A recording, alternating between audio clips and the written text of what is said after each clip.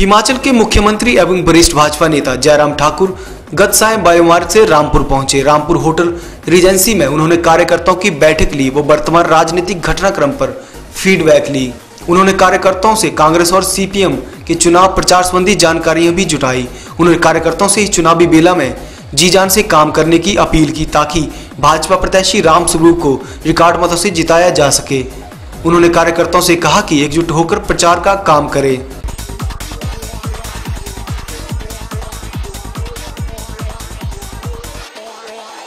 मुख्यमंत्री रामपुर विधानसभा हल्के के ही ननखंडी में जनसभा को भी संबोधित करेंगे। इस दौरान मुख्यमंत्री कांग्रेस विचारधारा से जुड़े, क्षेत्र के कुछ पंचायती राज से जुड़े प्रमुख जनप्रतिनिधियों, रामपुर नगर परिषद की पूर्व अध्यक्षता समेत युवक मंडल और महिला मंडलों को विधिवत भाजपा में भी शामिल करेंगे।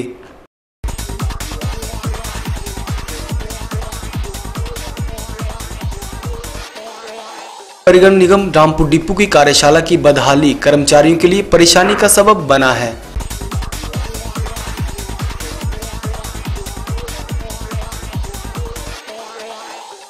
मौसम साफ़ हो तो धूल ही धूल, बारिश हो तो मुख्य मार्ग से लेकर सीवरेज का कीचड़ कार्यशाला में पहुँच जाता है।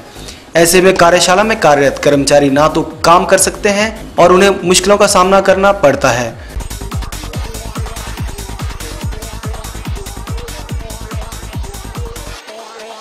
हिमाचल परिवहन निगम तकनीकी कर्मचारी संगठन ने आरोप लगाते हुए बताया कि लोक निर्माण विभाग के माध्यम से सड़क और कार्यशाला में सीमेंट कंक्रीट किया गया, लेकिन वो कुछ ही समय बाद उखड़ गया। उनका कहना है कि मरम्मत कार्य में ईमानदारी से काम नहीं हुआ है, जिससे आज ये स्थिति बनी हुई है।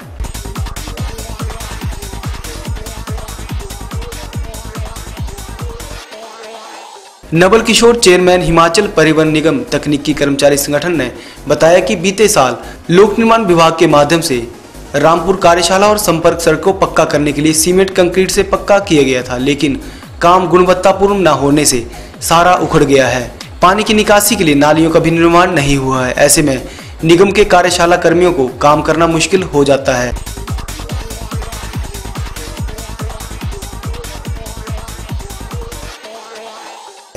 वहीं यूनिट के प्रधान संजीव कुमार ने बताया कि जो कार्य लोक निर्माण विभाग के सौजन्य से वर्कशॉप और सड़क में हुआ है, वह निम्न स्तर का काम हुआ है। उन्होंने बताया कि लोक निर्माण विभाग से भी कई बार इस बारे में शिकायत की गई है, लेकिन कोई हल नहीं निकला है।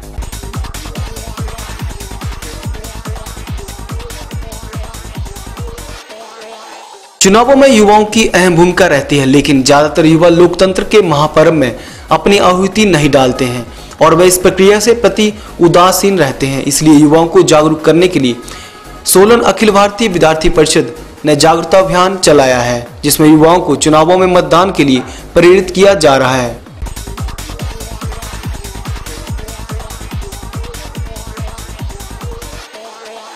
प्रेस वार्ता के दौरान अखिल भारतीय विद्यार्थी परिषद के विभाग सह संयोजक अर्चित सुमन ने बताया कि मतदाता जागरूकता अभियान के माध्यम से युवाओं को जागरूक किया जा रहा है। ये अभियान पहली मई से लेकर सत्रह मई तक जारी रहेगा। इस अभियान में वे तकरीब एक लाख इस चार भी बांटेंगे और पंद्रह हज़ार स्टिकर युवाओं को देंगे। युवाओं को चुनावों में मतदान करने के लिए शपथ भी दिलाई जाएगी। उन्होंने बताया कि उनके द्वारा सेल्फी पॉइंट भी बनाए जाएँगे ताकि वे सेल्फी खींचकर सोशल मीडिया पर अपनी फ़ोटो डालकर दूसरों को भी मतदान करने के लिए प्रेरित कर सकें।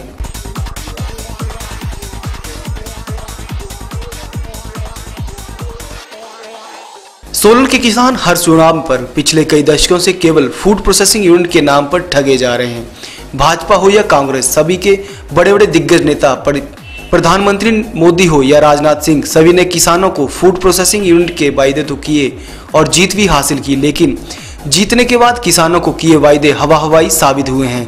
यही कारण है कि सोलन का किसान बेहद हताश और परेशान है।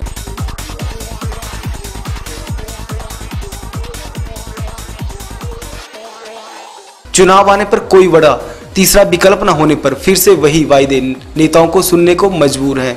सोलन के किसानों का कहना है कि जो वायदे चुनावों के समय पर राजनीतिक दल किसानों से करते हैं, उन्हें पूरा किया जाना चाहिए। उन्होंने कहा कि वह पिछले कई दशकों से फ़ूड प्रोसेसिंग यूनिट की आस लगाए बैठे हैं, लेकिन अभी तक कोई भी दल उनकी मांग पूरी नहीं कर पाया है। उन्होंने कहा कि अगर फ़ूड प्रोसेसिंग यूनिट यहाँ लगता है तो सोलन के किसानों की आर्थिकी सुदृढ़ होगी और फ़सलों के दाम भी अच्छे मिल सकेंगे।